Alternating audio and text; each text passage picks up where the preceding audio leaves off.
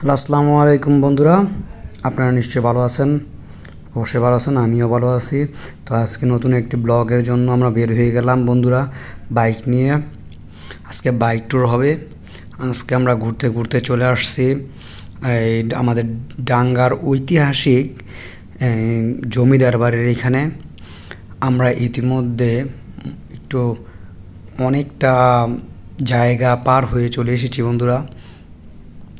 গ্রামের ভিতর দিয়ে আমরা যাচ্ছি। কারণ ডাঙ্গার যে মেন রাস্তাটা, ওইটা কিছুটা কাম অনেক ভালো হয়েছে এবং আর অনেকটা কাজ বাকি আছে। এই জন্য আমরা গ্রামের ভিতর দিয়ে চলে এসেছি। বন্ধুরা আমাদেরকে রেখে চলে এসেছিল। আমরা তো প্রথম যাচ্ছিলাম, তো বন্ধুরা চিনত। এর জন্য ওদেরকে ওরা এসে এখানে দাঁড়িয়ে রয়েছে। তো এখন আমরা যাব। ওদেরকে অনেক বকাঝকা করলাম যে আমাদেরকে রেখে এসে পড়লে কেন? আমরা অন্য একটা রাস্তা দিয়ে চলে গেছিলাম বন্ধুরা। তো আবার ঘুরিয়ে ফোনের সাথে যোগাযোগ করে আমরা আসছি। তোমার এক বন্ধু সামনে চলে গেছে। আমরা এখন ঠিক রাস্তা দিয়ে এগুচ্ছি বন্ধুরা। আর হয়তো বা একটু খুব কাছে আমরা চলে এসেছি, একটু দূরে। এই কাঁচা রাস্তাটার পরেই নাকি জমিদার বাড়িটা। দেখুন রাস্তার কি একটু অবস্থা। তো আমরা প্রায় কাছে চলে এসেছি বন্ধুরা। এই যে আমাদের হাতের ডাইন সাইডেই হলো জমিদার বাড়ি। এই যে আমরা বন্ধুরা চলে আসলাম। তো বন্ধুরা, আমরা বন্ধুরা বন্ধু বান্ধব মিলে চলে আসলাম এখন ফাইনালি জমিদার বাড়িতে।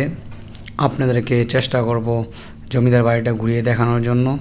আপনারা যারা যারা আমার ভিডিও দেখেন লাইক কমেন্ট শেয়ার এবং সাবস্ক্রাইব করেন না প্লিজ প্লিজ প্লিজ আপনারা লাইক কমেন্ট শেয়ার সাবস্ক্রাইব করে বলবেন এই দেখুন, আমরা জমিদার বাড়ির কাছে এসে দেখলাম, এরকম সুন্দর একটা ফুল। এর থেকে অনেক সুন্দর একটা সুগ্রান বের বের হচ্ছিল বন্ধুরা। তো আমি এটার এখান থেকে ভিউটা ছিল অন্যরকম। দেখুন, দেখতে কত সুন্দর দেখা যাচ্ছে জমিদার বাড়িটা। বন্ধুরা, এটা অনেক পুরনো হয়তো বা একশো বছর, দেড়শো বছর আগে তৈরি করা। আমরা শুধু জমিদার বাড়ির নামটা শুনেছিলাম, যাওয়া হয়নি। তো আজকে এসে দেখলাম আসলে যে জমিদার বাড়ি বলা হয় হ্যাঁ আসলে দেখতো জমিদার বাড়ির জিনিসটা ওই রকম একটা রাজকীয় রাজকীয় বাবা আছে যে আমার বন্ধু ওর এখানে এসে টয়লেট পেয়ে গেল। হ্যাঁ। জানি না সে কি খায়। তো এখানে কে ও যাচ্ছে টয়লেট খোঁজার জন্য এখানে টয়লেট থাকতে পারে। তো বন্ধু হাসতে চলে আসছে। ও দেখেনি আমি যে ভিডিও করছি। তো বন্ধুরা, আমি দুষ্টামি করার জন্য ভিডিও করলাম। এই দেখুন, দেখতে কত সুন্দর দেখা যাচ্ছে। এই জমিদার বাড়িটা, ওদের যে আগের সময় হলো যে হাতের কতটা কারুকার্য, কতটা সৌন্দর্য ফুটিয়ে তুলতো, এটা আসলে এখন দেখলেই বোঝা যায়। এটাতে এখন মানুষ থাকে না। কিছু সংখ্যক দুই এক একটা পরিবার থাকে, ওনারা হয়তো এটা রক্ষণ দেখাশোনার জন্য থাকে। তো দেখুন এই যে ভিতরটা ঘুরিয়ে ঘুরিয়ে দেখাচ্ছি। সামনে আছে আজ আমার বন্ধু। ও অন্দরমহলে চলে যাচ্ছে, তাই দরজাটা লাগিয়ে দিল। এটা হয়তো বা একটা সিন্দুক জাতীয় কোনো কিছু ছিল। দেখুন ওপরের যে কাজগুলো এগুলো দেখতে কত সুন্দর। এটা হয়তো বা জানালা কিংবা গুপ্ত দুয়ার। তো আমরা এখন সিঁড়ি পেয়ে গেলাম। সিঁড়ি, তারপর আমরা পিছনের দিকে এসে দেখলাম যে পিছনের দিকে যে ওনারা বাগান টাইপের করছে এইগুলা আসলে অনেক সুন্দর। পিছনের দিকটা গাছ গাছলা দিয়ে অনেক ভরা। সুপারি গাছ বেশিরভাগ। আর এখানে পিছনের দিকটা অনেক সুন্দর, এই যে এটা হয়েছে গিয়া পিছনের দিকে ঢুকার মেন দুয়ার। এটা আপনারা হাতের ডাইন সাইডে আপনারা পেয়ে যাবেন। তো বন্ধুরা, আমি আপনাদেরকে নিয়ে যাচ্ছি দোতলায়। দোতলায় আরও সুন্দর সুন্দর জায়গা আছে যে এখানে হয়তো বা বসে ঠান্ডা বাতাস খাওয়ার যখন নাকি গরম লাগে তখন ওরা ঠান্ডা বাতাস খাইতো। জমিদারের অথবা মেয়েরা কিংবা স্ত্রীরা। তো এইখানে আমরা চলে আসলাম যেটা যেখানে হয়তো বা বিকাল কিংবা সকালের দিকে ওনারা এইখানে বসে বসে ওনারা সময় কাটাতো। জায়গাটাও অনেক সুন্দর। বন্ধুরা দেখুন, আমি আপনাদেরকে পুরোটাই ঘুরিয়ে ঘুরিয়ে দেখাচ্ছি।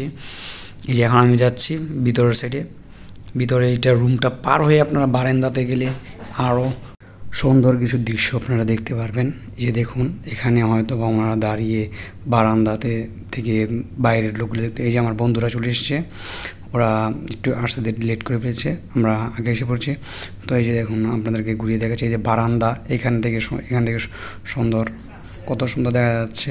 এই যে আমরা যেই ওনাদের যে উঠানটা উঠানটা আপনাদের দেখাচ্ছি, আর ওইটা হচ্ছে ওনাদের বিচার কার্য কিংবা ওনাদের যে বসার জায়গা বলতে পারেন, জমিদাররা যে এখানেই করতো। তো আর এই যে এদিক দিয়ে মন্দিরমহলের জায়গা, এই যে দেখুন, ব্যালকনিটা, ব্যালকনিটার মধ্যে কত সুন্দর কাজ। আসলে দেখতেই ভালো লাগে। বন্ধুরা, যদি আমাদের এই ডাঙ্গার এই ঐতিহাসিক যেই জমিদার বাড়িটা, এটাকে যদি রক্ষণাবেক্ষণ করা হতো সুন্দর করে দেখে রাখতে রাখা হতো, তাহলে এটা একটা পর্যটন কেন্দ্রের মতন হয়ে যেত। এটা দেখতে অনেক দূর দূরান্ত থেকে লোক আসতো। এখনও লোক আসে, কিন্তু কম। শুধু কিছু কিছু উদযাপনের দিন এখানে লোক আসে, কিন্তু তারপর যদি ওনারা আরও সুন্দর করে রাখতো এই জমিদার বাড়িটা ডাঙ্গার জন্য একটা ভালো একটা জিনিস যেটা মানুষ ডাঙ্গার জন্য মনে করলে এটাকে স্মরণ করে। তাহলে এটাকে আমাদের দায়িত্ব ছিল যে সুন্দর করে রাখার, কিন্তু আসলে দেখার কেউ নাই।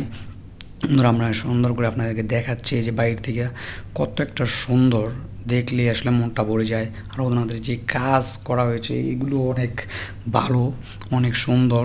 আমরা এখন বন্ধুরা দিয়ে ঘোরাঘুরি শেষ করে আমরা চলে এসেছি জমিদার বাড়ির যে পুকুর ঘাট ছিল, সেই পুকুর ঘাটের এখানে।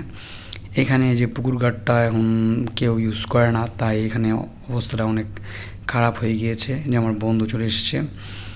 তো এই যে দেখুন পুকুর ঘাট থেকে এখন আমরা বাড়ি গেলাম, পানিগুলো ভালো না, তাই দেখছি আঙ্কেলগুলা আঙ্কেলরা এখানে আশারি খাচ্ছে, তো আমরা ওনাদের কাছ থেকে নিয়ে নিলাম, আশারি কিনে নিলাম, তো ওনাদের কাছ থেকে আশারি নিয়ে আমরা ছুলে আশারি খেতে থাকি, আর আপনারা আমার ভিডিওটাকে লাইক কমেন্ট শেয়ার এবং সাবস্ক্রাইব করে ফেলুন। আর যদি আপনারা আমার এই ফেসবুক পেজে দেখে থাকেন, তাহলে লাইক কমেন্ট শেয়ার এবং অবশ্যই অবশ্যই আমার পেজটাকে ফলো করবেন বন্ধুরা।